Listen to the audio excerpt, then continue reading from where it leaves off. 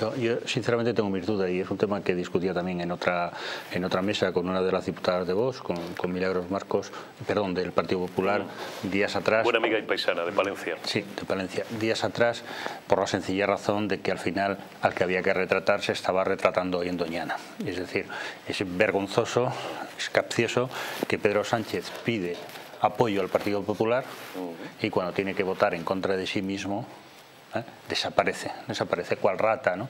Entonces, desde ese punto de vista, desde ese punto de vista, yo probablemente hubiera tensado la cuerda un poquito más, porque en estos momentos eh, estamos en una en una precampaña política, ellos lo van a vender como un éxito del Partido Socialista, nunca van a decir que es el Partido Popular el que lo ha apoyado, de hecho Pachi nadie.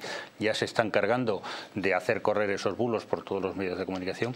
Y yo si hubiese sido el Partido Popular probablemente hubiera hubiera hubiera tensado la cuerda un poquito más.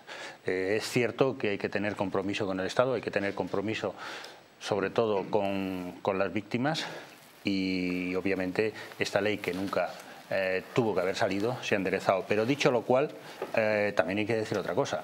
Vamos a recordar a la audiencia que tenemos una población de recursos, de, una, reclusos, de reclusos relacionados con este tipo de, con, este, con esta tipología de de delitos. de delitos, con esta tipología de delitos, eh, cercana a los 4.000. Mm. Que esos 4.000 que esos 4.000 de los cuales 1.000 ya se han, ya se han aprovechado, esos 4.000 se van a seguir aprovechando se van o van a seguir utilizando la legislación del CSI de Pedro Sánchez eh, durante toda su vida de reclusos. Porque ya ha estado en vigor durante Efectivamente, durante seis meses la ley del CSI que esta ley que se va que se ha aprobado hoy en primera en primera instancia en el Congreso y que se aprobará próximamente en el Senado eh, bueno afectará a los nuevos delincuentes sexuales o a los reincidentes ¿no?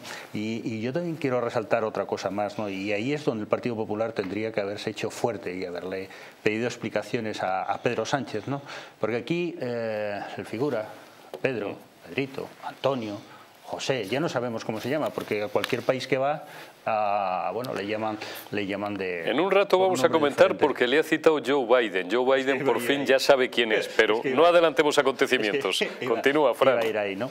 Eh, bueno, eh, hizo unas declaraciones el otro día una, una serie de medios y además eh, yo creo que, que son criticables y dijo si hay que pedir perdón a alguien, si hay que pedir perdón a alguien, se le pide. Yo no sé quién era el periodista que estaba delante Un periodista de Vocento. Pero lo que le tenía que haber dicho es, presidente, ¿eso significa pedir perdón?